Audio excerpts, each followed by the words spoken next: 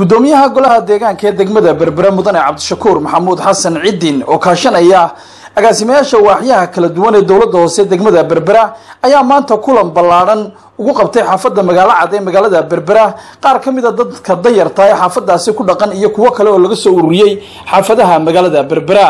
Waxaana halkaasi si bakhtiyaa nasiiba dadkaasi loogu qaybinayay guryo maamulka dowladda hoose degmada berbera ay dhiseen oo loogu talagalay dadka danyarta ah ee ku dhaqan magaalada berbera waxaana halkaasi si bakhtiyaa nasiiba dadkaasi uga qaadanaya waraaqa ay ku qoran yihiin ha iyo maya iyadoona ay goobjoog ka ahaayeen gudoomiyaha golaha deegaanka iyo weliba agaasimayaasha waaxyaha kala duwan ee dowladda hoose degmada berbera gudoomiyayaasha xaafadaha magaalada berbera iyo dad kale oo aada u tiro badan.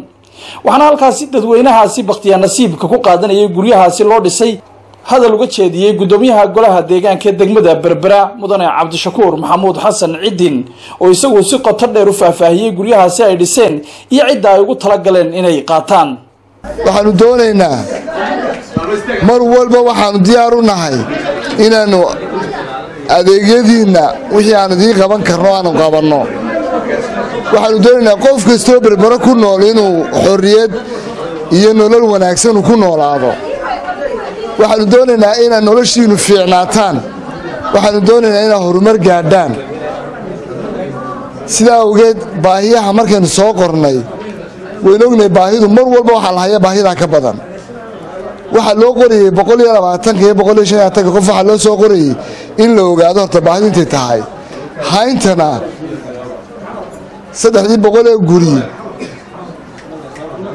boqolkiiba labaatan ka mida marka horeba waxaa loogu talagalay dadka magaalada gudaheeda ku barakacay.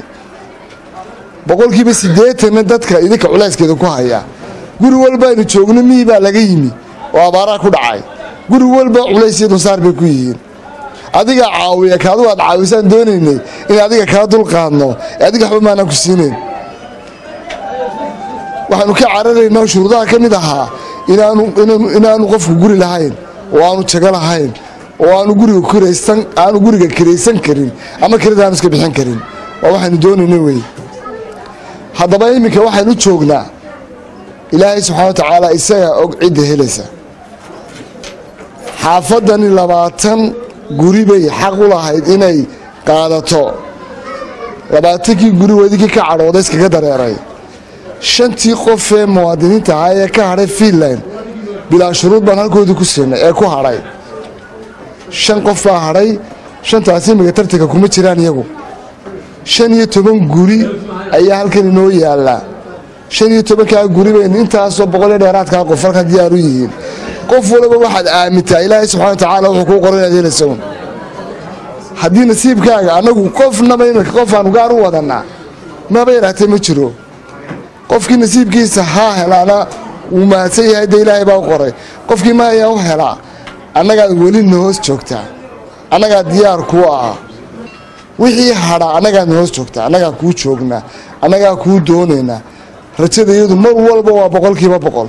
Annagu ama aan dooda hoose ka soo qaadno ama meel kalebaana ka keenne adaanu kuu maqannahay kuu igmanahay guryahani oo ka kooban saddex boqol oo guri ayaa waxaa horey bakhtiyaa nasiib ugu helay qaybo ka mid ah dadka danyarta ah ee ku dhaqan xaafadaha magaalada berbera iyadoona hadda uun la dhammaystiray guryahaasi dhismahooda. Maxamed cabdilaahi soo fadhiiste star t v magaalada berbera